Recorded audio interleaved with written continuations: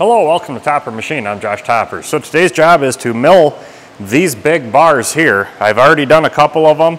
Um, they came out pretty nice. Been a little experimenting with a new cutter on the planer mill. So let's go over to the planer and see what we've got going on there. All right, so I got a bar sitting up here on the mill, as you can see, and underneath all of these clamps. Now these are the clamps that I made that go in the T-slot. Actually, these are the ones I made. And as you can see, they're a little bit tall for this application. So I had my young apprentice, Connor, on the Bridgeport for a day and had him make me up about 16 of them that are shorter. And there is a video of these in, in being made, an older video of, of these particular ones. Um, and Connor made these up and we have a full set. So we're gonna go ahead and switch over to use these only. And here's the cutter that I'm using. Now this is a Bridgeport 1J mill head on the planer and this is the an R8 spindle. So you got a big adapter here down to and this is the cutter we're using with a, uh, uses a square insert running 45 degrees. And I already milled three of these. They came out really nice, but like I said, my, my clamps were just way too tall. So that's why we made these shorter ones. And uh, Connor's been very busy on the, on the machines. Let's actually go over to the Bridgeport and I'll show you what he's been doing. So as you can see, we got the head tipped back to run a, an angle. And what he's making are these little pieces. So it's got this angle milled on it, and what it is, is actually this. When it's all done, will be these things, um, just shorter. And what they are is a locking clamp that goes into a planer head kni uh, knife holder. So actually let's go over and I'll show you the head that they go in. This is a job that came in um, a couple weeks ago for a local, small local sawmill. And uh, he wanted me to shorten the heads to make them smaller. Well, here's the piece going in there. And when you tighten those set screws, it lifts up and it clamps the knife in down here. So as you can see, Connor's got some work left to do on these things that he's making, but they're coming along very nicely and I'm very happy with the work he's doing. So he's, he's learning very quickly on mill setup. He's getting really good at mill setup. So now let's head back over to the planer and you can see what's going on there. So we got all of our new clamps made up. I'm gonna go ahead and get this bar set in place. And to do that, we need to actually clamp the bar down and then we sand, pinch it in with these, our wedge clamps here. These actually bite the bar and hold it from lifting up and moving side to side. But we need to ensure that the bar is firmly seated down in.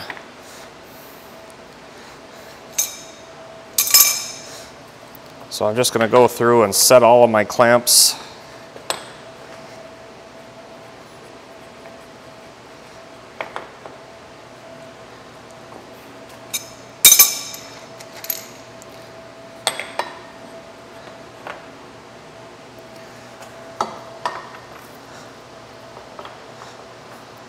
And if you're interested in these clamps at all, I do have an older video of when I made them. They, the, the ones I made. And uh, these have been just absolutely great on the planer here. Um, use them a lot.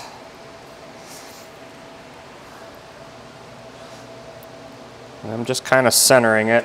Not going, you know, for precision here because all we're doing is facing off this surface and uh, getting it clean for uh, the next phase of this job, which is a whole bunch of drilling and milling. And I'm not going to film that because that's, quite honestly, drilling's boring.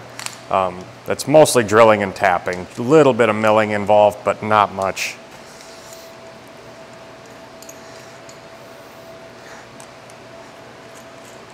So the reason I'm clamping this bar down is, to the table first is because the bar is got a little bit of warp to it. It's not absolutely perfect and doesn't sit perfect on the table. So I need to ensure that it's down flat before I do anything. Before I do any milling, because then, then I'll have problems if I don't do this.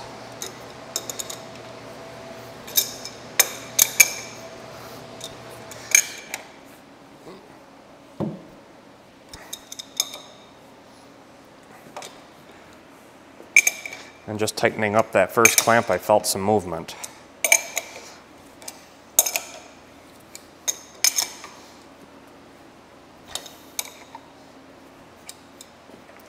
She feels like she's down.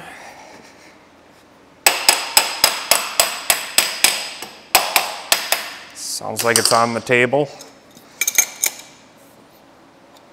Snug it up one last time here just to make sure. All right. And then I just go through and finger tighten my side clamps here. And then work my way back through and tighten them all up. And on the back side, I just go a little bit. Feeling the torque all about the same.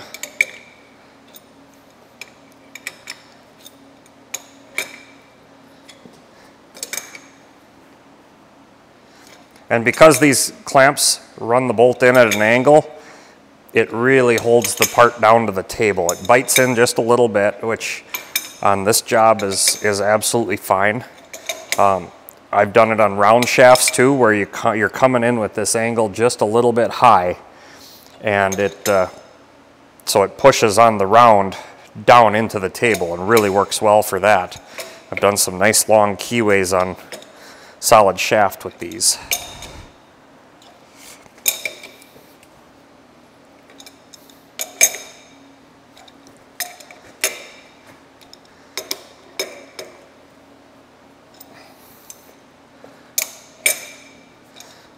Like I said, we're just snugging it up all the way around so it can't, can't lift out.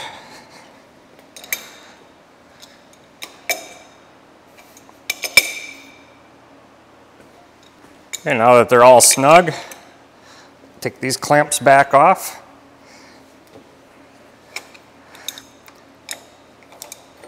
And then we'll have a free area with uh, no obstruction for milling.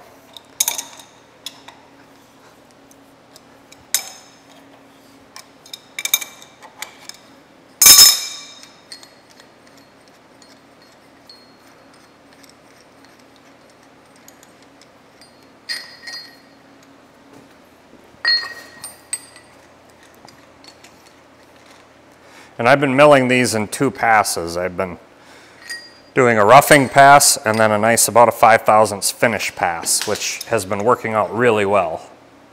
And as you can see, I got the digital readout there. We put that on a while back. There's a video of that as well. And we'll just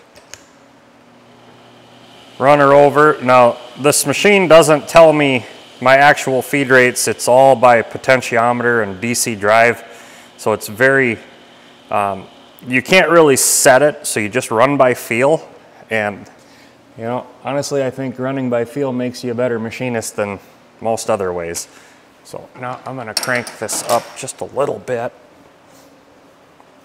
And we're gonna bring it over and touch it off. All right, we'll start it up and we'll touch it off.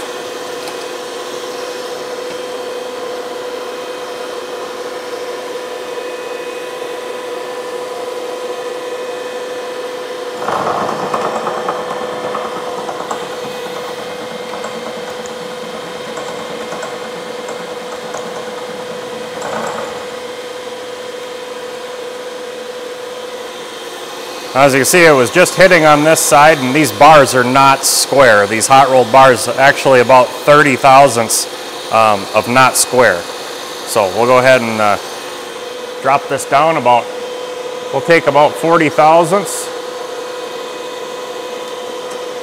on the first pass, and then uh,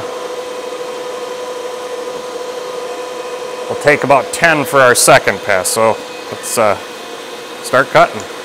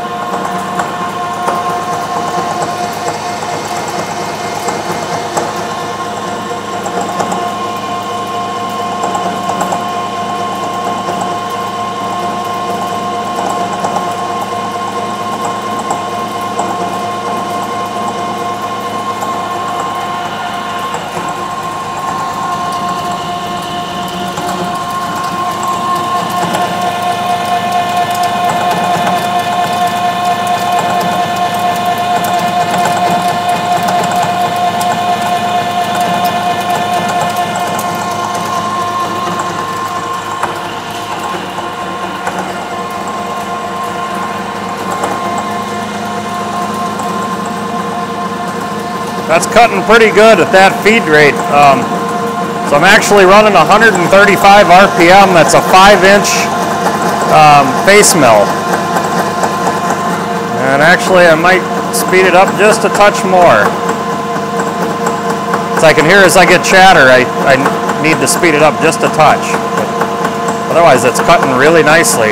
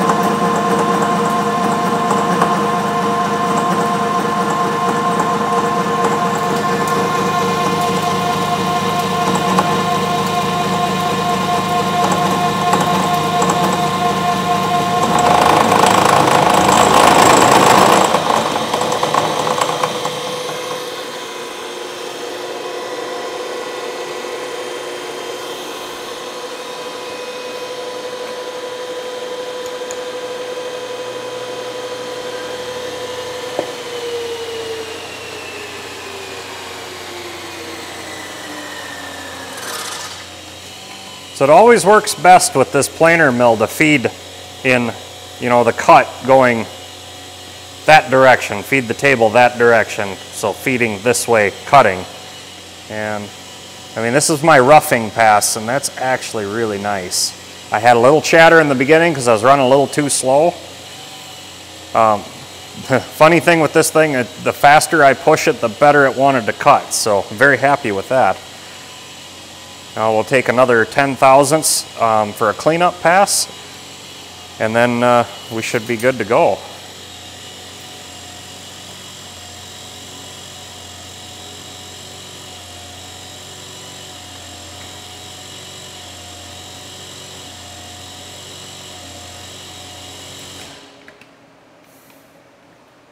So I don't know if you can see this and how well this camera works. You know, I'm just learning this new DJI. Right here was my little bit of chatter. But you run your finger over it, it's, it's hardly anything. Hardly even feel it. So pretty good. I mean, it's a actually not a bad finish for a roughing pass. So we'll go ahead and, and take another, uh, I think we'll take five thousandths and clean this up.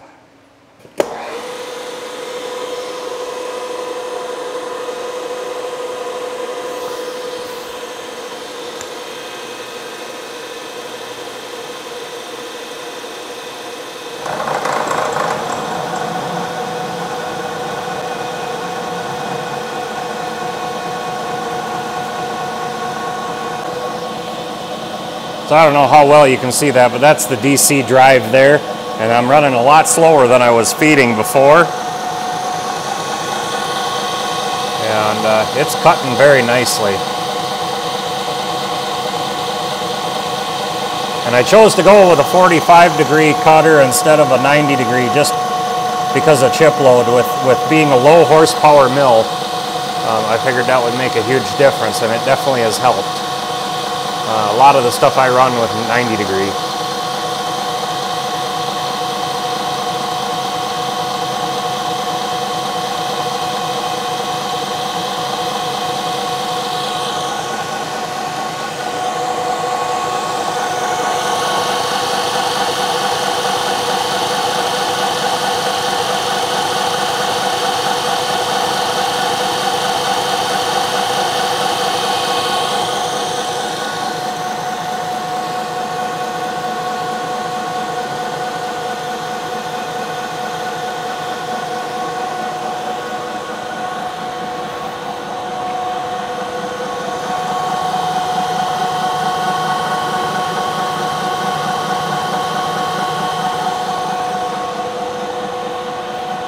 We haven't fed out enough yet to actually look at the finish out the back, but I come in here behind the cutter.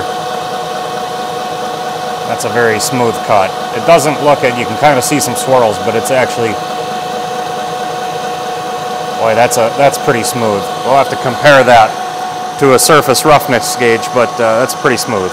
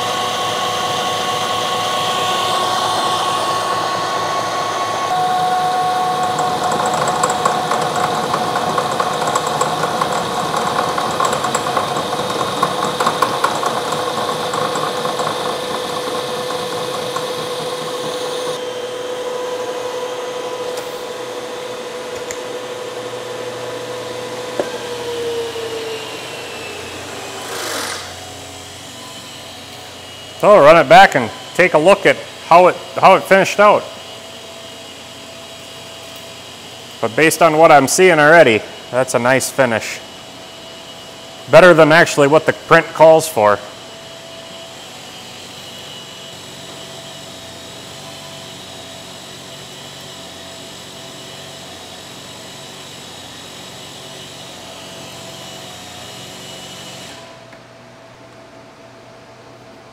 You see we got that chatter out in the beginning there and just all along come out very smooth.